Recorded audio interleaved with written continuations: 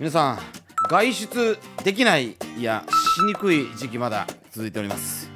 そんな家にいることが多い今だから必要なもの。それは備え。ではないでしょうか。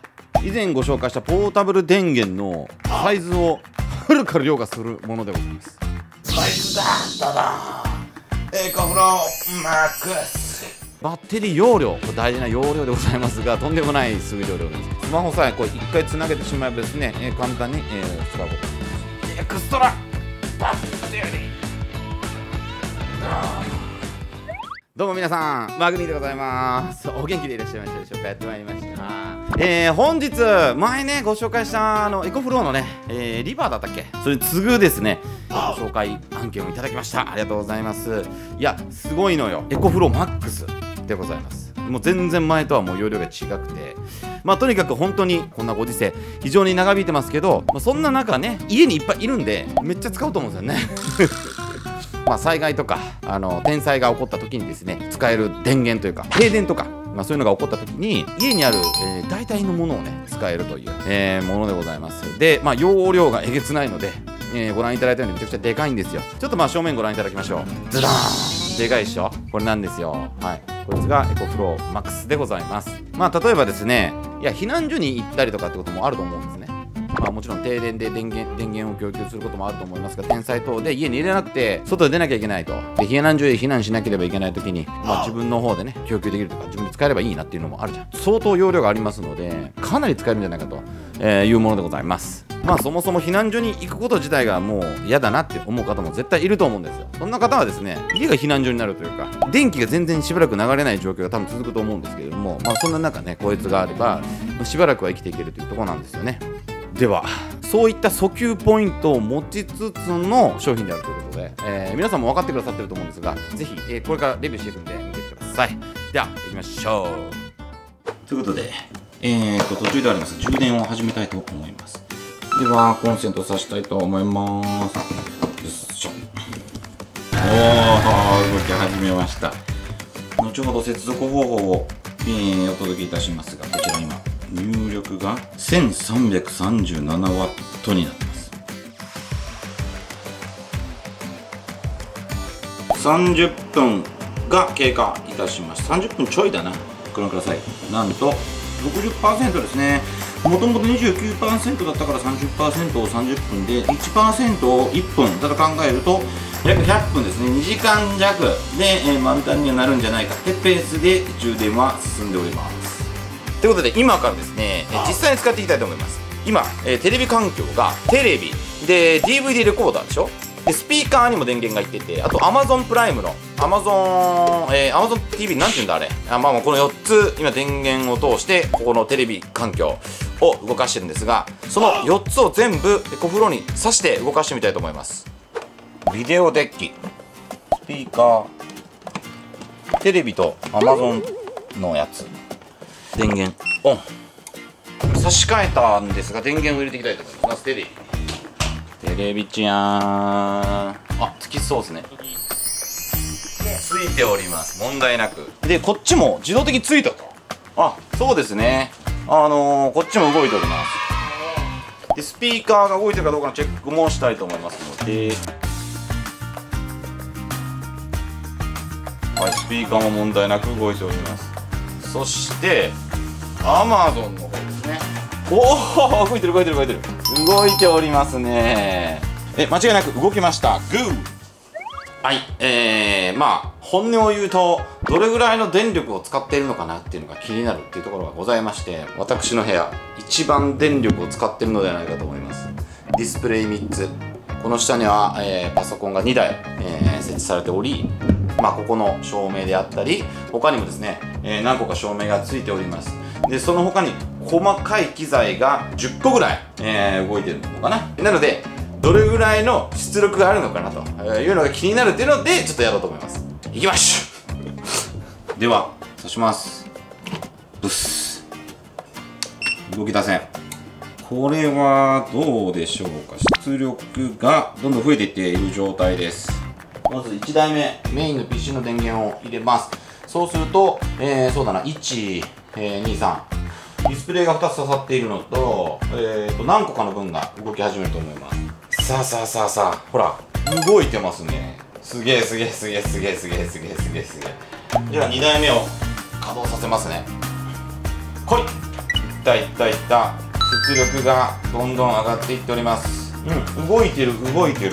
このあの照明もねここの照明とこの照明もあの同じコンセントから撮ってるんですけど問題なく動いてますねここでなんか負荷の重たいようなことをするとどうだろうかってことである私がゲームチャンネルでめちゃくちゃプレイしているゲームを動かしてみたいと思います。さあどうなるか。ああ出力がめちゃくちゃ上がってます。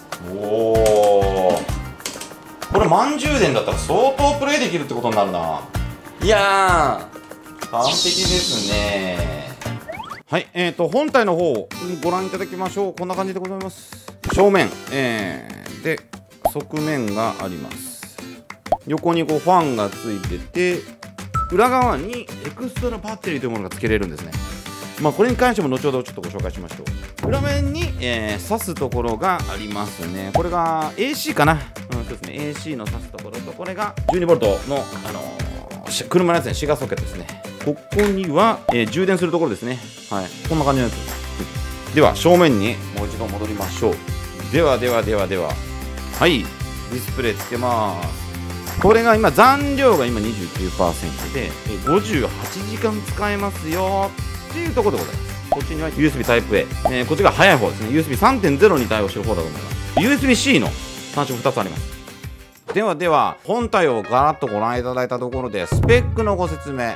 重量約 22kg そして、まあ、サイズに関しては 497×242×305mm ということで結構なサイズ感でございます。でバッテリー容量大事な容量でございますがとんでもない数量でございます、えー、2016W え 50.4V ですね、まあ、とんでもねえ容量があるよということでございます。で AC 出力がさっき裏面ご覧いただいたところで、えー、系統が6つありまして X ブースト機能というね特殊な機能があるんですがそちらに対応した電化製品の、えー、低確出力。なんとですね皆さん 2400W です。すごいぜ。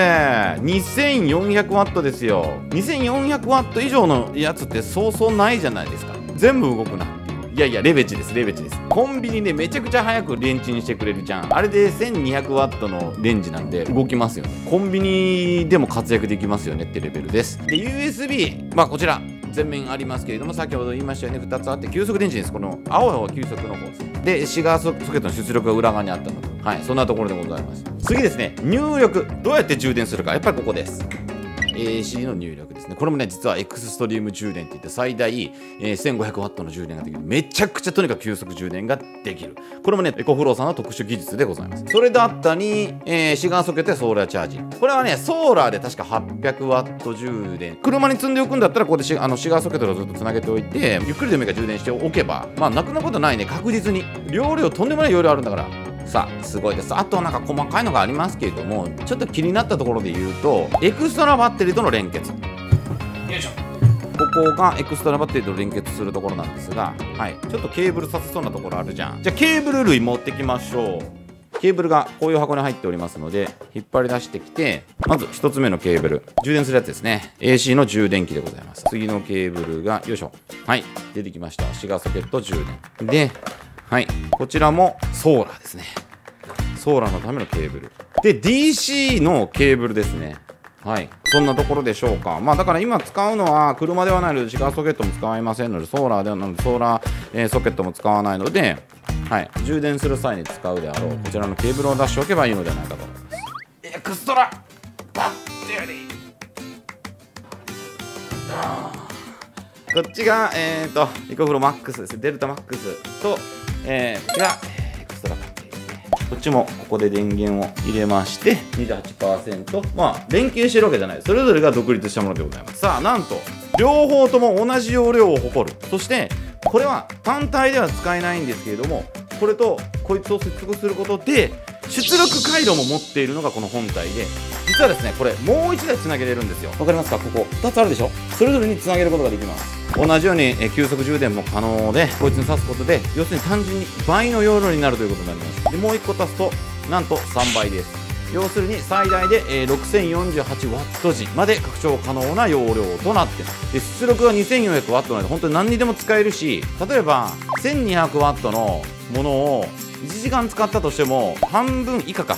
は残ってるってことです。コンビニの 1200W のレンジを1時間使うことありますかってことなんですよ。単純計算で言うとね、まあ、だからそれぐらいあのとんでもない容量を持ってます。携帯の充電パソコンの稼働テレビまあそんなところでございます。いやーすごいでしょ。まあざっと紹介した段階なんですけど途中でなんかいろいろ言ってましたが X ブーストっていう技術が要するに、えー出力をブーストさせるやつでもう一個 X ストリームって技術。これは充電を急速にする技術なんですけれどもこれで補足情報としてエコフローさんのね今テスト段階なんだけれども世界最速の充電速度を記録してます。これねすごいんですよ。どういうことなのかというとその X ストリームの技術でですね 1500W の充電ができてプラスソーラーの充電は 800W って、えー少しお伝えしたと思うんですけどそれを合計する両方で一緒に充電するんですって。AC での、えー X ストリーム技術での充電と、えー太陽光ソーラーでの充電合わせる。要するに1500足す800で 2300W の速度での充電ができるということなので、まあ、とにかくそういう意味でも技術すげえ革新的ですよね。エコフローの電源技術どうなってんのってことですよね。さあではですねまあいろいろ使っていく前にですねちょっと今 iPhone の映像ご覧いただいてますが一応ですね専用のアプリというものが存在しております。Android でも可能です。まずはこのエコフローのアプリを立ち上げます。そうするとこのようなページになりますので右上のプラスですね、えーそしてご覧ください。EF デルタデルタマックスを選択しましょう。まずはこちらのちょっと電源を入れときまして IoT リセットボタンを長押ししてください。ここの部分です。長押ししております。はいしました。そうするとこうチカチカしましたね。それで、えー iPhone の方をご覧いただくとネットワークを選択してくださいということではいご覧ください。エコフロー出てますね。それと選択しましょう。はいつながりました。でここが点滅してますか？ということでちょっと下に小さい文字で書いてあります。ここチェックボックスになってるんですね。丸いとこ。で次へっていくとここで今からですね、えーちょっとモザイクで消しますがこの部屋にある w i f i が表示されますのででそいつを選択していきます。はい。ということでパスワードを入力して今接続する段階に来てます。ちなみにこちらのアプリ今ベータ版で使用させていただいております。はい接続されました。さあ今こう接続されている状態となっております。iPhone の画面ご覧ください。デバイスが追加されています。タップいたしますとこの本体の詳細が出てきます。今は何の動きもありませんよと。で29%の電池が入っております。充電したりするときにですね、えーこちらの画面も一緒にご覧いただきたいと思います。ここでできることっていうのは設定の方に行ってデバイスに名前を付けたりとかですね放電と充電レベルをこれ設定することができるんですね。寿命を伸ばしたい場合は放電の加減を10%充電の上限を80%に設定することを推奨します。要するにやりすぎないそして空にしすぎないってことが大事なんでしょう。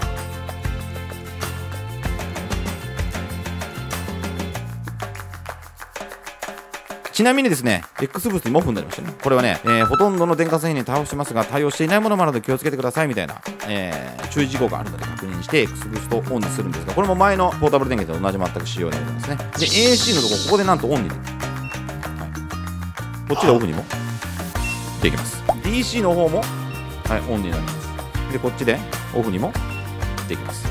同じようにですね、下は USB の部分なんですが、反対に向けましょう。はい、オンにして、オフにすることできます。はい、スマホさえこう1回つなげてしまえばですね、えー簡単に、えー使うことができます。例えば、じゃあ、ホーム画面に戻りまして Wi-Fi を切った場合どうなるのか、えー更新してこうやってタップすると自動でまたつながれます1回つなげてあるのでもう大丈夫なわけですね1回つなげてしまえばあとはもうアプリ内に登録されるので途切れたりする心配はありませんはい。ということでございまして、ご覧いただいたような感じでございましてね、エコフローマックスは一家に1台あっていいかなっていう感想でございます。いかがですか、皆さん。まあ、家の中で使いましたけれども、まあ、外に持ち出して、これ、まあ、キャンプに持ってってもいいわけですし、まあ、キャンプに持ってるので、まあ、でかいよ。まあ一人で行くには、あの、以前ご紹介したサイズで十分なんですけど、今日ご紹介したのは、もう本当に複数でキャンプに行った時にも活躍しますし、あの、災害時、避難所でも活躍します。停電した時にも活躍する。